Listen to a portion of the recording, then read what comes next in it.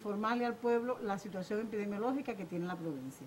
Y en las últimas 24 horas, de las 689 muestras que se procesaron acá en la provincia, 123 fueron positivas y todas correspondientes a la transmisión autóctona.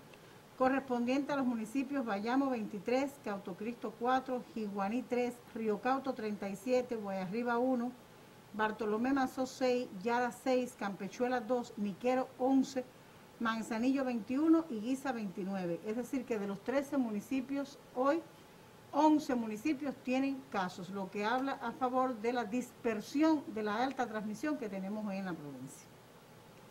Permanecen ingresados 2.365 pacientes, de ellos confirmados activos hoy 609. Creo que ha sido la cifra más alta reportada desde que comenzó la epidemia acá en la provincia sospechosos 1.252 y contactos 428 en los centros de aislamiento.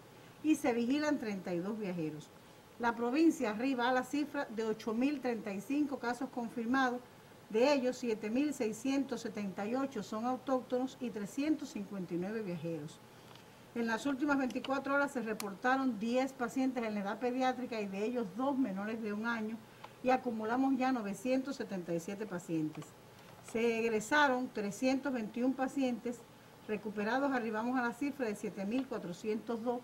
Hoy estamos reportando dos pacientes críticos en el Hospital Celia Sánchez Manduley y dos pacientes graves. Lamentamos el fallecimiento de dos, de dos personas, una, una persona eh, eh, masculino del municipio Bartolomé Mazó de 83 años, un paciente cardiópata con una enfermedad pulmonar obstructiva crónica, contacto de caso confirmado, que bueno, eh, llevaba varios días en la unidad de cuidados intensivos en el Celia Sánchez y pese a todo el esfuerzo que se realizó, pues bueno, tuvo un desenlace fatal.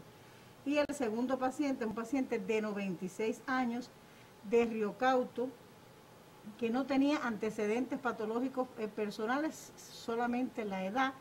Es un paciente procedente del área del evento de transmisión local que tenemos en Río Cauto, en Vado del Yeso, y bueno, contacto también de caso confirmado y lamentablemente también falleció. Esa es hoy la situación que tiene la provincia.